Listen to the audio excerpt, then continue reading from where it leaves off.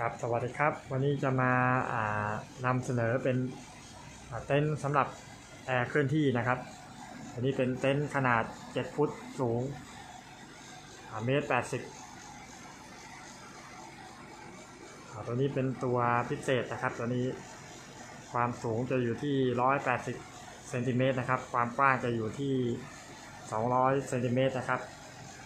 ความยาวจะอยู่ทางด้านซิป220เซนติเมตรนะครับ วันนี้วันนี้เราจะมาทดสอบกับการใช้งานแอร์เคลื่อนที่ เป็นของเนชลอนตัวนี้ขนาด 6,000 BTU นะครับตัวนี้จะมีตะกร้าใส่ไว้ด้านหลัง เพื่อให้ความเย็น สามารถตัวคอยจับอุณหภูมิได้นะครับตัวนี้ เพื่อให้แอร์ตัดการทำงานนะครับเพราคอยเย็นด้านหลังจะมีตัวจับอุณหภูมินะครับ ส่วนคอยร้อนเดี๋ยวเราจะปล่อยไว้ไว้ด้านนอกนะครับ ไว้ด้านนอกครับอันนี้ในเต็นท์เริ่มเย็นแล้วนะครับ เปิดไว้ประมาณ10 นาทีนะครับ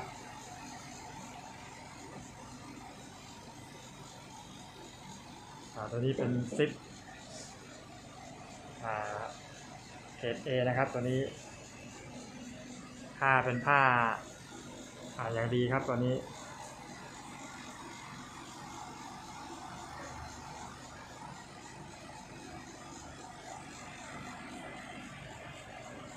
ตัวนี้เหมาะกับการใช้งานได้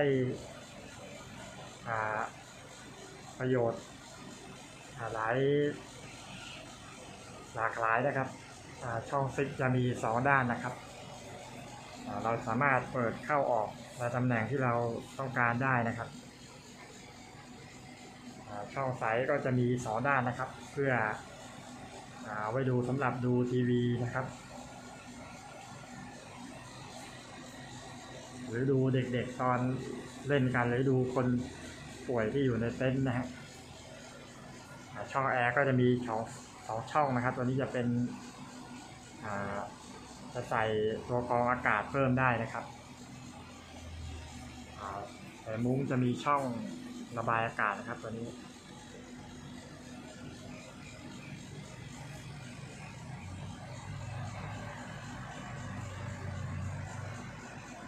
นี้ก็ถือว่าเย็นพอสมควรนะครับ ตัวนี้ในเต็นท์ ครับ ตัวนี้เป็นตัวพิเศษนะครับ ตัวนี้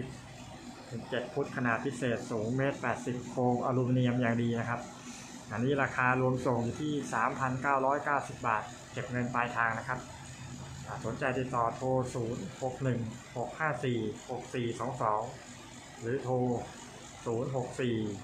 2 4 6 8 4 5 8 ครับ ขอบมากครับ